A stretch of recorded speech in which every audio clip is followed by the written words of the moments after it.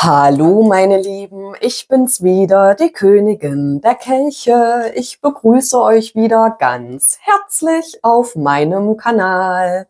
Lass uns mal reinschauen, was bei Schatzi so losi sein könnte, ob sich die Energien jetzt so ein bisschen verändern oder der Status quo von der gestrigen Legung so bleibt. Worüber darf ich heute reden? Lieber Gott, wer darf hier heute angesprochen werden? Für meine lieben Zuschauer, für meine lieben Abonnenten, bitte gib mir Botschaften. Was darf ich heute Schönes erzählen? Was könnte hier wichtig für dich sein? Über welches Hauptthema darf ich hier heute reden? Mm, okay. Unterm Kartendeck der Ritter der Stäbe. Dann fiel hier das Gericht, der Brunnen und die drei der Schwerter. Es ist so, dass hier jemand ähm, Veränderungen in deine Gefühlswelt bringen möchte oder bringen wird. Es könnte damit zusammenhängen mit einer Enttäuschung, die du erfahren hast. Es ist aber auch etwas, wovon du jetzt befreit werden darfst, sprich von einer Enttäuschung die sich hier transformiert und verändert. Ich habe das Gefühl, es kommt eine Situation auf dich zu, wo man gerne Kontakt zu dir aufnehmen möchte, wenn nicht sogar dich erobern möchte. Wenn das sogar auch hier jemand ist, den du bereits schon kennst. Es kann aber auch möglich sein, durch einen neuen Kontakt wirst du jetzt befreit von einem Los, wo man dich einst wirklich enttäuscht hat.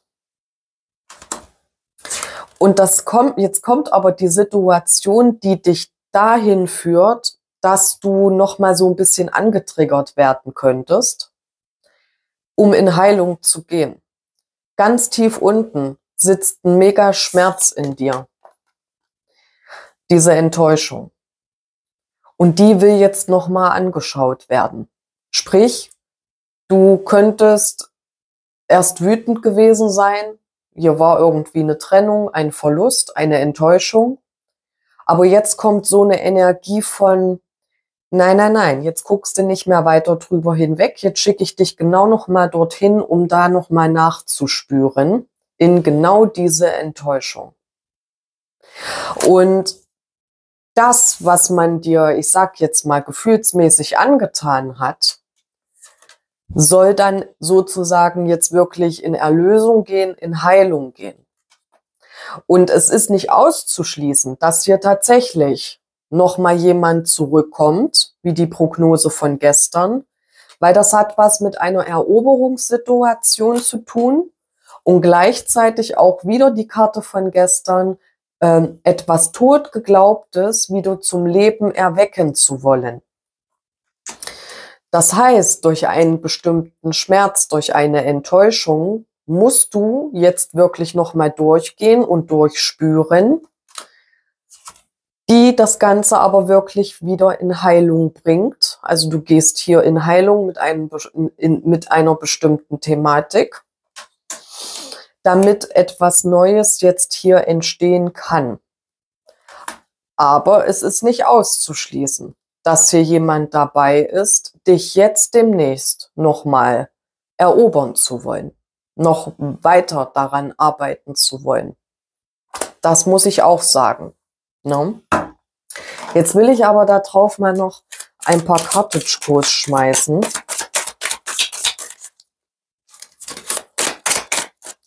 Ja, ich nehme so wahr, wie gesagt, ähm, es kann natürlich, mm, mm.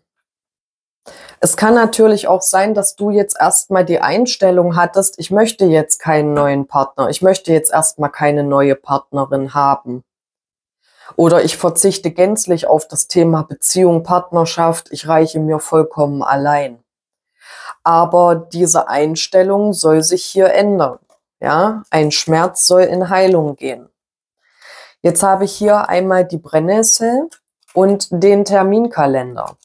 Es könnte sich um eine Thematik handeln, ähm, wo du wirklich eine aufgestaute Wut hattest auf jemanden, weil man vielleicht ähm, nie wirklich Zeit für dich hatte. Man hatte immer einen volleren Terminkalender als Angela Merkel.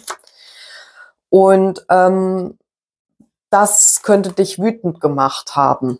Ja, und das könnte dich auch mega verletzt haben und enttäuscht haben, ähm, weil hier jemand wenig Zeit hatte. So kriege ich das auch rein. Ja, und auch hier wieder, ne? Ähm, du weißt ganz genau, du warst hier reinen Herzens dabei. Du hast hier jemanden auch ohne Ego vielleicht sogar auch schon geliebt aber du fühlst dich hier, als hätte man dich einfach nur zur Ablenkung benutzt, als wärst du hier immer nur der Lückenbüßer gewesen, wenn man ja doch mal einen Termin im Kalender frei hatte.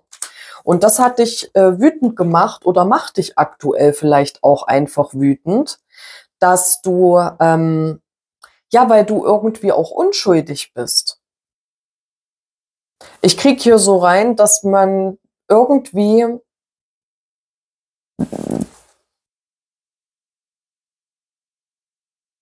Du hinterfragst den Zweck einer Handlung. Warum man irgendwie, du hinterfragst den Zweck einer Handlung. Warum hat man so wenig Zeit? Warum ist man nie wirklich da? Ähm, kann es sein, dass ich nur zur Ablenkung benutzt werde? Kann es sein, dass, dass er oder sie mich gar nicht für ernst genommen hat? Und kann es sein, dass du dir wirklich, dass du wirklich weißt, du bist hier äh, also wirklich rein unschuldig und dass dich das wütend macht. Du fühlst dich, hast dich hier benutzt gefühlt, ausgenutzt, fühlst du dich wie der Lückenbüßer, nur wenn er oder sie mal Zeit hat. Und das hat, ist hier eine Wut. Eine Wut, ein Schmerz auch. Und genau da darf in diese Thematik, das kommt jetzt auf dich zu, mein Engel, darf nochmal reingepikst werden und reingeschaut werden. Also an sich ist es eine Thematik, wo man dir ja das Gefühl gegeben hat oder aktuell noch gibt, ähm, einen Scheiß muss ich, gehst mir am Arsch vorbei, ich habe so viel zu tun und ich melde mich, wenn ich Zeit habe.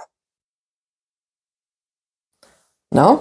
Und das ist eine Sache, da würdest du am liebsten dran vorbeigehen und einfach nur sagen, ähm, alles gut, Tschüssikowski und ich gehe weiter. Aber was in dir drin ist, ist eine mega Enttäuschung.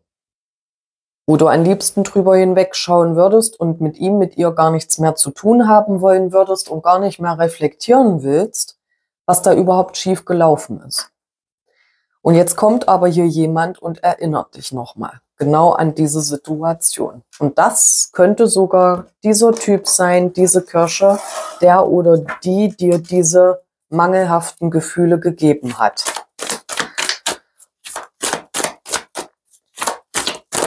Wer soll das denn hier sein? Kommt hier jemand Neues? Um welche Thematik handelt es sich? Hier geht es um Erinnerungen, wirklich.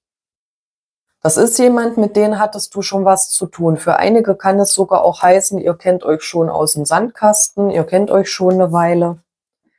Aber jemand erinnert sich hier an dich, jemand äh, kann dich auch nicht vergessen.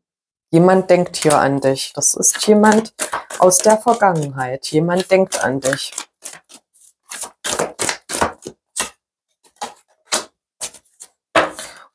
Und denkt halt eben wirklich dran, hm, wie komme ich hier nochmal an dich ran? Wie komme ich hier an dich ran? Nochmal. Was machen wir mit unserem Talent? So kriege ich das rein.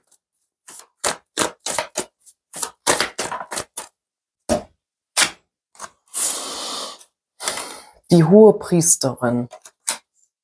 Es könnte dir schon deine Intuition sagen, dass sich hier vielleicht jemand wieder melden wird oder du hast so ein Feingespür, auch wenn du hier mit jemandem gar nicht mehr weiter was zu tun haben wollen würdest, ist ja trotzdem eine innere Stimme in dir, die trotzdem irgendwie noch so ein bisschen fühlt oder spürt, hm, ob es das jetzt wirklich gewesen war. Ja, so nehme ich das auch wahr. Ja, also irgendwie auch so ein bisschen ein Gefühl des Verständnisses.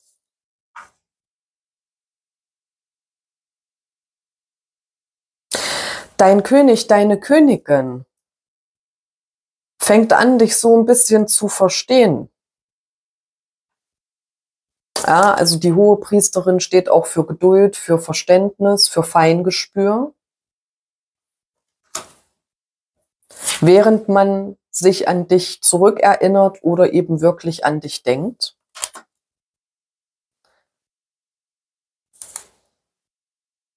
Dass du ähm, irgendetwas brauchst, was dich hier noch halten soll. Ja, wie gesagt, irgendwie habe ich ja hier auch schon gehabt. Ähm, dass du nicht so richtig weißt, was will der hier überhaupt von mir, was soll das ganze Verhalten hier eigentlich. Ne?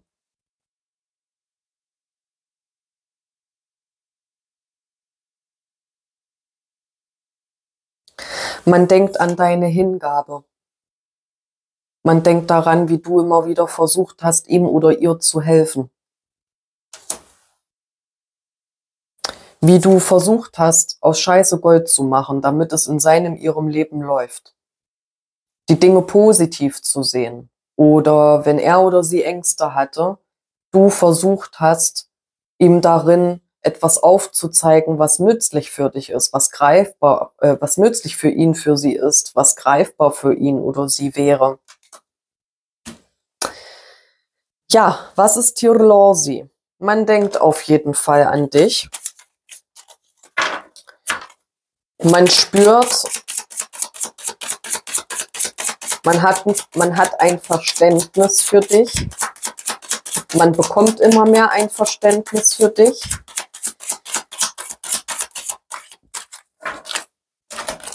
Und hier haben wir einmal den freien Fall ins Wunderland und wir haben hier die Parkbank.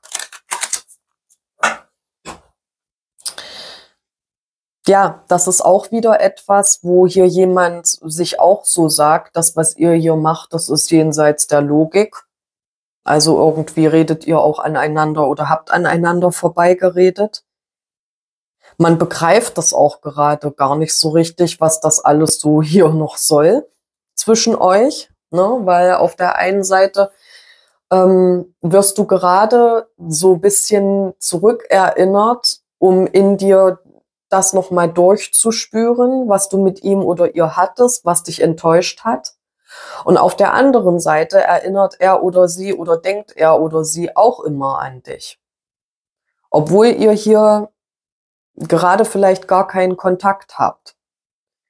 Und eine innere Stimme weiß irgendwie, ach, ich weiß auch nicht, es ist trotzdem so ein gewisses Verständnis füreinander noch da. Es ist eine Pause. Und dein König, deine Königin fühlt sich auch so ein bisschen krank. Man kränkelt hier. Ähm, aber was man eben immer weiß, wenn man mit dir zusammen war, hat man Raum und Zeit vergessen. Und die Zeit, die verging immer so richtig schnell. Jemand denkt an dich jemand will dir was Ehrliches bieten, weil man ähm, dich immer mehr versteht, ähm, was du versuchst, ihm oder ihr oder was du versucht hast, hier jemanden rüberzubringen. Aber irgendwie weiß man selber noch nicht so richtig wie und was. Ähm, etwas erscheint einen auch selbst als rätselhaft mit dir. Irgendwie geht hier alles so ein bisschen an euch aneinander vorbei. Ne? Aber man denkt hier an dich. Was hat denn hier jemand auf der Emotions-Ebene? Was empfindet man vielleicht auch für dich? Gibt es irgendwelche Gefühle,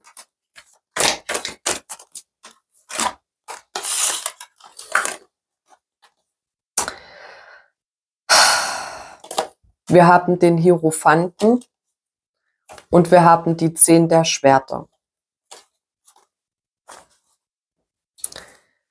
Das, was bei ihm, bei ihr gerade im Unterbewussten losi ist, ist ähnlich wie bei dir. Auch er darf hier nochmal genau auf diesen Schmerz schauen, auf dieses schmerzliche Ende zwischen euch. Ja.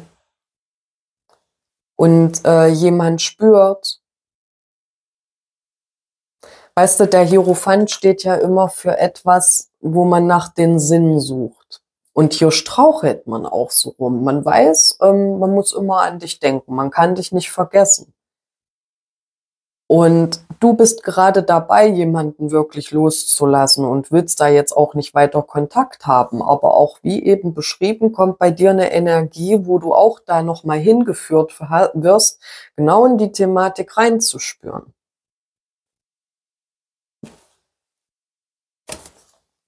Der Hierophant steht für jemanden in der Liebe, der gern die Hosen anhat.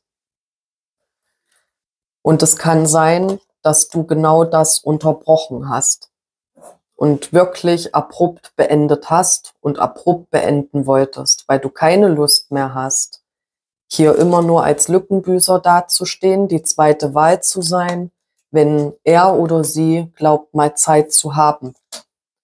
Man spürt gerade dieses schmerzliche Ende. Man spürt gerade nicht mehr zwingend deine Energie.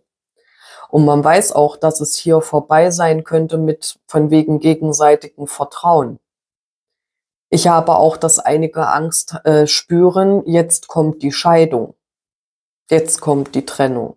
Ne? Weil der Hierophant steht für eine Hochzeit, aber ein schmerzliches Ende ist hier eine Scheidung, die kommen könnte. Uh. Ja, jemand denkt, dass man dich jetzt wirklich verloren hat, ja, dass es das jetzt wirklich war.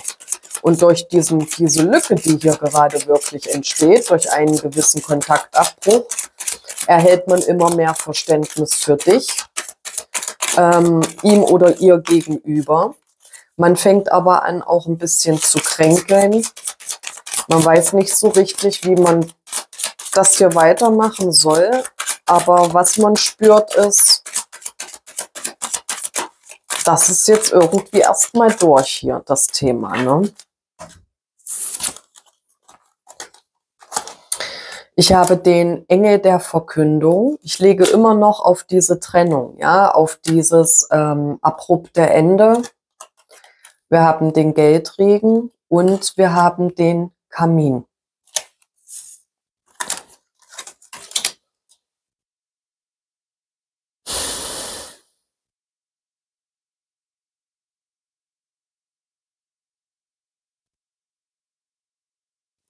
Jemand möchte dir aber trotzdem noch etwas sagen. Ich muss es wirklich so sagen, weil ich hatte auch zum Anfang hier, es kann sein, dass hier jemand aber trotzdem noch mal kommt, ne? Weil ich habe ja den Engel der Verkündung und hier geht es darum, eine wichtige Ankündigung zu machen, etwas erfahren, etwas herausposaunen oder sich hier erklären. Und das hat etwas ähm, mit einer Selbstständigkeit vielleicht auch zu tun, mit, einem Beruf, mit einer beruflichen finanziellen Situation, aber gleichzeitig auch, wo es um Romantik geht und Geborgenheit.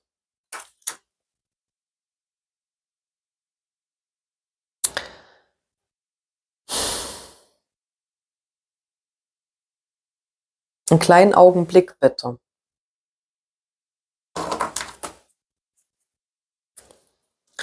Die wichtige Ankündigung, es ist, dir möchte jemand gerne noch was sagen, wenn es um Geld geht, um finanzielle Angelegenheiten, aber auch ein romantischer Aspekt ist hier zu sehen. Vielleicht auch, dass man dir wieder romantische Avancen machen möchte. Dieser Terminkalender, der hier immer voll war, hat irgendetwas mit ähm, beruflichen Angelegenheiten zu tun. Du könntest es anders auffassen, aber ich nehme so wahr, man möchte dir einen gewissen, man möchte dich nicht verlieren. Jemand möchte dich nicht verlieren. Was ist hier auf die Romantik zu legen und auf die Geborgenheit? Jemand spürt, dass man dir etwas sagen sollte, dass man äh, dir sagen sollte, warum man nie wirklich Zeit hatte. Das Gericht eine Entscheidung für Mühe und Arbeit, die man hier investiert hat in eine Angelegenheit. Aber es ist auch, dass man dir sagen wollte, du hast es nie gemerkt, dass ich versucht habe, dir äh, eine romantische Zeit zu oder dir zu, dir zu zeigen, dass ich dich liebe. Das kriege ich auch so rein. Ich hatte Mühe und Arbeit, dir zu zeigen, dass ich dich liebe und gleichzeitig aber auch Mühe und Arbeit mit meiner Selbstständigkeit hier. Seine Gedanken, kleinen Augenblick bitte. Ja, seine Gedanken haben wir hier an der Veränderung. Wie kann ich dich hier nochmal zurück? Jemand möchte dich nicht verlieren.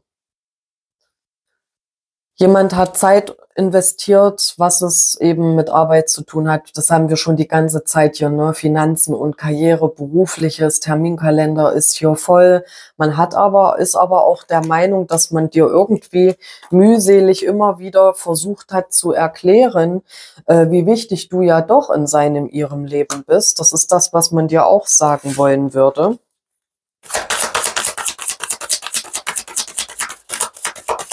Jemand möchte dich nicht verlieren.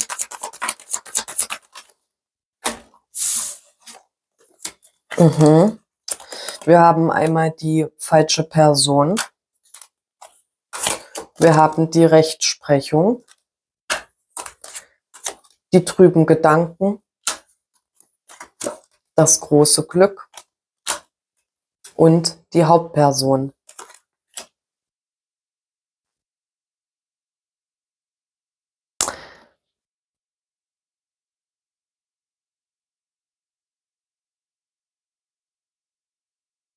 Man weiß ganz genau, dass du deine Meinung über ihn, über sie geändert hast.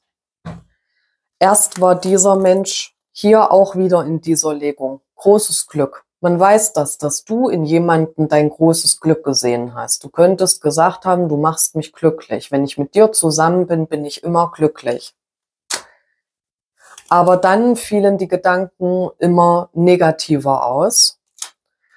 Und du hast dich dafür entschieden und ein Urteil gebildet, dass er oder sie falsch ist. Eben weil man nie Zeit hat, weil man das so aussehen lässt, wenn ich Zeit habe, melde ich mich, du bist die zweite Wahl. Du hast immer mehr das Gefühl bekommen, hey, ich bin hier unschuldig für dessen Verhalten. Und deine Wut hat sich immer mehr angestaut. Dabei ist die Situation hier ganz anders und die möchte hier jemand wieder klarstellen, und man denkt auch wirklich daran, eine äh, Veränderung hier mit dir nochmal einzubringen, weil man aber auch spürt, äh, du bist, man ist hier irgendwie weg. Also hier sind wir immer noch in diesem Zyklus von Trennung, Enttäuschung. Aber ich sehe, jemand denkt immer wieder an dich, jemand erhält auch ein Verständnis für sein, ihr Verhalten, aber auch für dein Verhalten. Man weiß noch nicht so richtig, wohin. Man weiß nur, man möchte Veränderung. Man möchte dich nicht verlieren. Und man spürt aber auch, dass du auch hier in dieser Legung ihn oder sie schwer vertrauen kannst oder du auch keinen Bock mehr darauf hast, dass hier jemand immer meint, den Ton angeben zu müssen. Ja? Wenn dann Gleichberechtigung, Gleichbehandlung. Und so wird hier mal ganz schnell aus dem scheinbaren großen Glück für dich äh, eher mehr trübe Gedanken, was diese Person betrifft und ein Urteil, was du fällst, der oder die ist falsch mir gegenüber. So. Jetzt ist es aber so, jemand wird dir hier was sagen, jemand wird sich hier nochmal melden wollen. Was wirst du dann hier tun? Was habe ich denn dann hier in deine Richtung?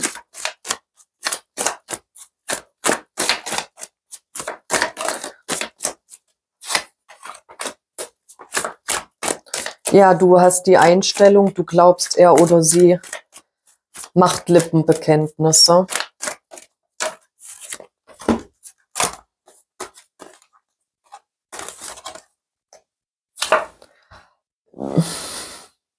Das sind Lippenbekenntnisse, die er oder sie hier machen wird.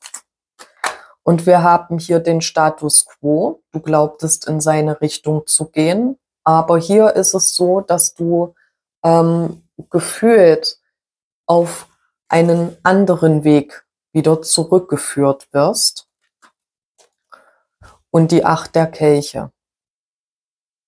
Eine Situation zu verlassen, auch wenn sie dir nicht einfach fällt. Auch hier habe ich das Gefühl, es steht hier schlecht für die Chancen eines jenen, der dir da wirklich eine mega Enttäuschung gegeben hat. Es ist wirklich so, ne, der Gehängte steht eben dafür, ja, ich bin bis hierher diesen Weg gegangen, aber ich habe jetzt die Einsicht, ich sollte diesen Weg wieder zurückgehen und nicht weiter nach vorne schauen mit diesen Menschen in Bezug auf ein Ende, wieder einmal, mm, ein wehleidiges Ende. Das ist etwas, das fällt dir hier nicht leicht. Aber du bist auf der Suche nach den zwei der Kelchen, einer wahren Begegnung. Und hier hast du das Gefühl, das ist alles nicht wahr. Ich gehe wieder zurück. So kriege ich das rein. Ich gehe wieder zurück. Es sind Lippenbekenntnisse, ein wehleidiger Abschied. Wow.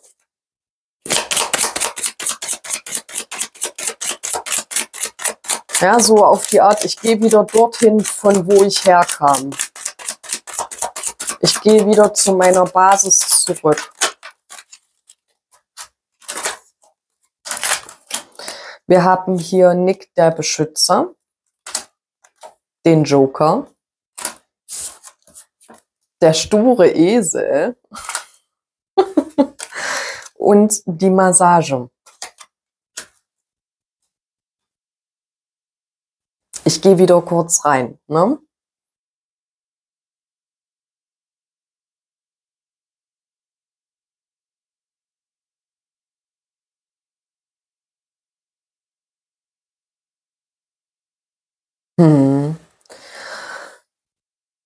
Es ist jemand in deinem Umfeld, der oder die dich wirklich beschützt.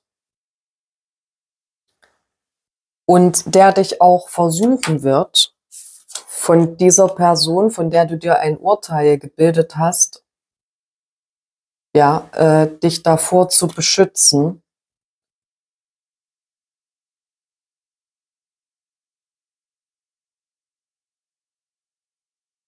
Ein Zweck heiligt die Mitte. Du hast einen Joker, ein Ass im Ärmel. Und das ist jemand, der alle Schuld auf sich nehmen wird, der sich dir aber in den Weg stellt, während du wieder zurückgehen möchtest. Also ist das doch dieser Typ hier noch oder diese Kirsche, während du dir denkst, ich gehe wieder zurück, das sind Lippenbekenntnisse, aber hier stellt sich dir jemand in den Weg und ist bereit, alle Schuld auf sich zu nehmen.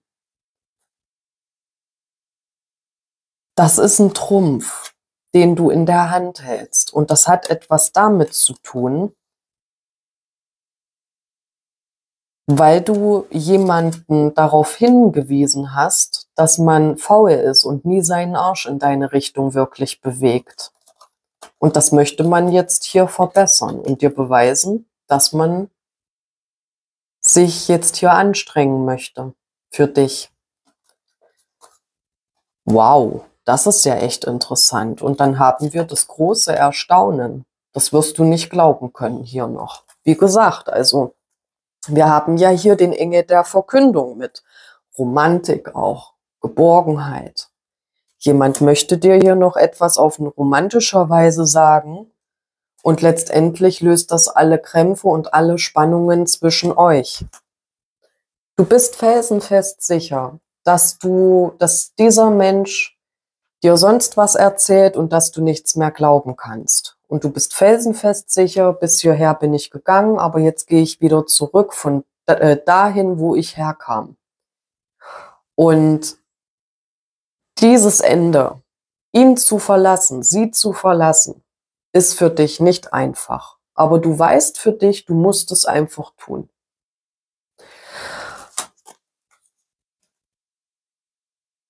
Aber jemand möchte die Schuld auf sich nehmen.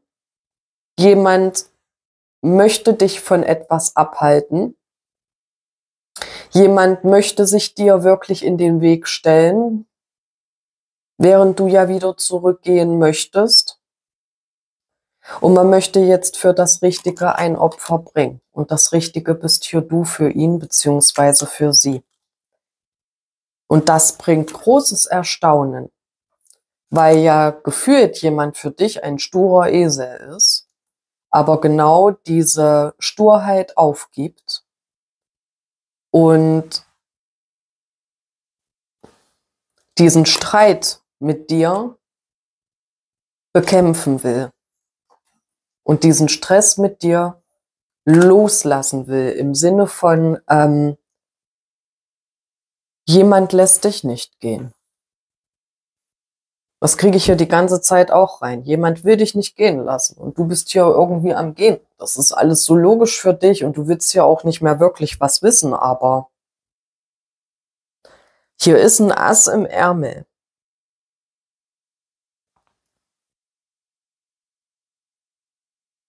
Und das ist, dass man sich dir jetzt in diesen Weg stellt. Und es ist so wie, halt, stopp, alles bleibt wie es ist, ne? Und äh, jetzt erstmal hier Engel der Verkündung. Ich habe dir noch was zu sagen und dann kannst du überlegen, ob du wirklich gehen willst. Wow. Und irgendwas auch so ein bisschen romantischer Natur.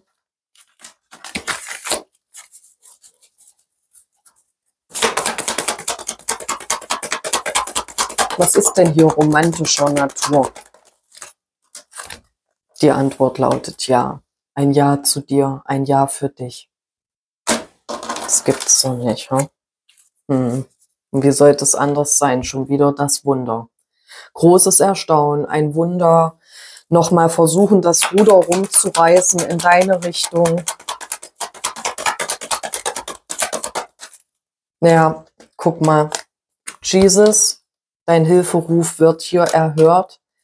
Aber es könnte sein, dass das was mit einer Zwillingsflamme zu tun hat. Vielleicht seid ihr euch auf einer gewissen Art und Weise ja doch ähnlicher, als ihr denkt. Aber dein Gebet wird erhört werden. Ja, ein Neuanfang will man mit dir so, meine Lieben, ich lasse das so stehen. Ne? Wenn euch das gefallen hat, würde ich mich freuen, wenn ihr meinen Kanal kostenfrei abonnieren werdet, würdet. Werd auch du Königin bzw. König. Klick auf die Glocke, dann auf alles und so erhältst du immer eine Message, dass ich ein neues Video hochgeladen habe. Ich habe euch lieb. Ciao.